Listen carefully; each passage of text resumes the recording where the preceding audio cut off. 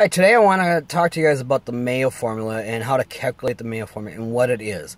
And the MAO stand uh, MAO that stands for maximum allowable offer. And as rehabbers, that's the number that we have to follow. It's a true, hard, true number that we need to follow when we're doing our calculations. And the way we get to that number is we take the after repaired value, so after we've done the renovation and get the property back on the market, what we expect that to be and then we use a 30% factor and that's 30% is going to about half of that is called, covered in hard costs of about 10% on every deal. And that's the buying holding costs the utilities the insurance all that stuff while we're holding and renovating the property and the cost to resell the property. So that's going to run us about 15 16 17% right in that neighborhood. So that leaves us about a 13 to 15% profit margin.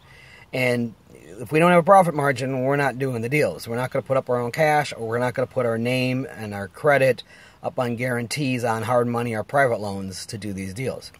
So we still need that profit margin. Now, to calculate the MAO, let's just for a simple example, let's use a hundred thousand dollar ARV. Okay, with a hundred thousand dollars, and we're going to take out thirty percent. The easy math is to take seventy percent of that.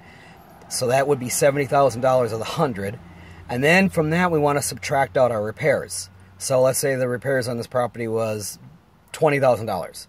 Okay, 20 from the 70 brings us down to $50,000. So 50 is the MAO.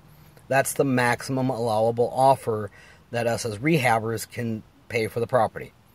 So just wanted to point that out to everyone. Keep that in mind as you're looking at properties, especially if you're a wholesaler looking to resell to rehabbers. Those are the numbers that we need to follow. So hopefully we'll be back next week with another tip for you guys.